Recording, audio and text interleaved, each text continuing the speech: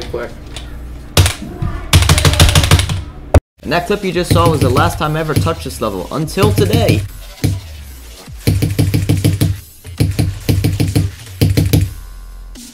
Oh, okay. I'll take that. I don't even know how long that took. But, bro, I was playing this for, let's see how many attempts. Over, like, 3,500 before, and I just beat it in, like, three minutes coming back to it or something. Yeah, about three. Subscribe if that was cool.